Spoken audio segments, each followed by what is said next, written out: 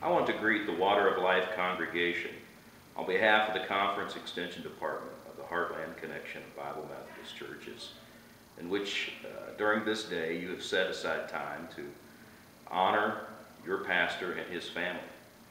I congratulate you and honor you as you make this effort today to honor those who serve over you in the work of God's kingdom.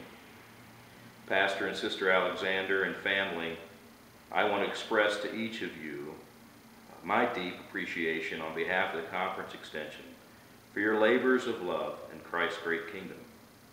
Those moments of sacrifice when no one else sees, the weary hours spent in sermon preparation, preparing your own heart to feed the flock of God, the physical and emotional energies invested in providing practical and adequate leadership, all of those sacrifices that are joyfully a pastor and his family's opportunities to invest in the spiritual journeys of all his parishioners. As pastors and church leaders, we do have many sacrifices to make.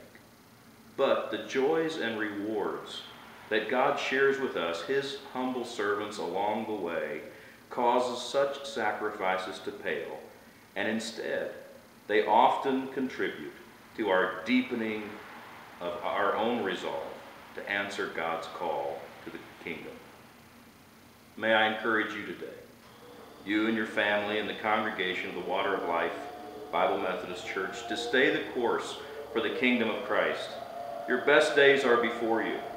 A conference family prays for you and seeks ways to encourage you along your incredible journey.